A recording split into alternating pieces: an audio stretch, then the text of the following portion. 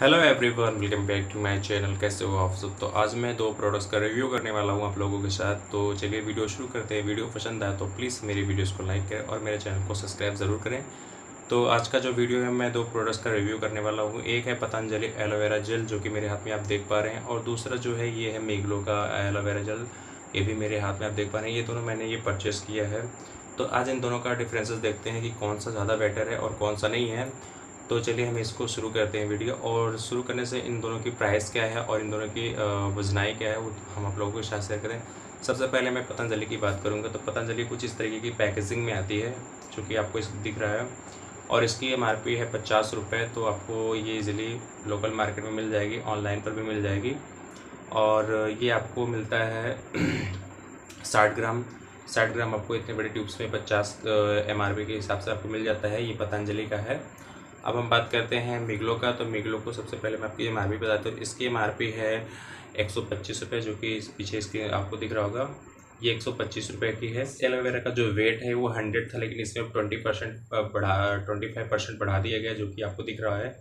अब इसको हम यूज़ करते हैं और इसको हम देखते हैं कि इन दोनों का मतलब कम, कैसा है और इस कौन सा ज़्यादा बेस्ट है।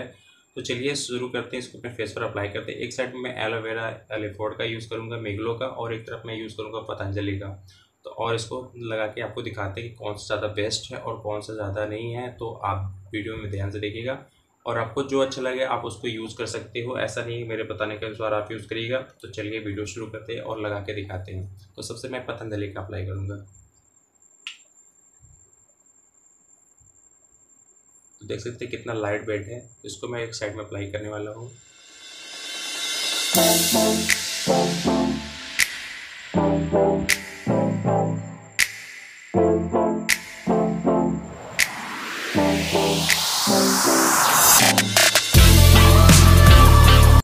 एक साइड में मैंने अपने फेस पर अच्छे से अप्लाई कर लिया है।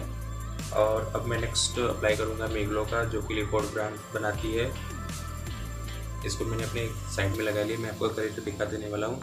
इसको मैंने एक साइड अपने लाई कर लिया है, जो कि स्किन में अच्छे से ऑब्जॉर्व हो चुका है। देख सकते हैं कितने अच्छे से स्किन में ये मिल्ट हो गया है, और ऐसा भी नहीं लग रहा है। बहुत लाइट वेट था ये। अब मैं नेक्स्ट लगाने वाला हूँ लिफो मिगलो का लिफोर्ड ब्रांच का। इसको मैं अपने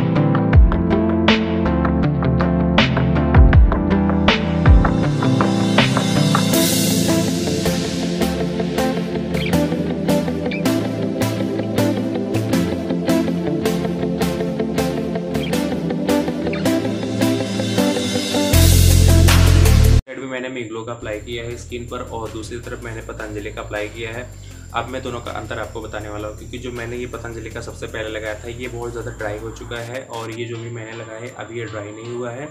और इसको लगाने के बाद आपको ग्लो सा ऐसा शाइनिंग मिलने वाला है, लेकिन मैंने जो पतंजलि का लगाया था, मैं आपको नज़दीक से दिखाने वाला हूँ, इसमें कोई शाइनिंग और कोई ग्लो नहीं दिख रही और मैं लिक्विड का आपको दिखा रहा हूँ जो मेगलो का मेगलो का है। इसको मैंने लगाया है इसमें देखिए शाइनिंग भी रहेगी और कितना अच्छा सा ग्लो भी कर रहा है। अगर आप इस पर हाथ तो हाथ स्लिप करता है लेकिन इस पर ऐसा कुछ नहीं है तो मुझे सबसे ज़्यादा बेस्ट ये लगा है। तो अगर आपको भी अप्लाई करना है तो आप अपने अकॉर्डिंग यूज़ कर सकते हैं जो आपको कंफर्टेबल लगे। आ,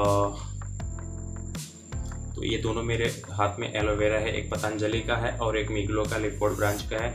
तो आपको जो अच्छा लगे आप वो अप्लाई कर सकते हैं। फ़िलहाल मेरे लिए तो दोनों बेस्ट हैं। ये मैं आपको फिर से दिखा देने वाला हूँ। बस दोनों की क्वालिटी अलग है और एमआरपी भी अलग है। इसकी एमआरपी है एक सौ और इसकी है पचास रुपये तो आपको जो सुटेबल लगे, जो अच्छा लगे, आप उसे परचेस कर सकते हैं।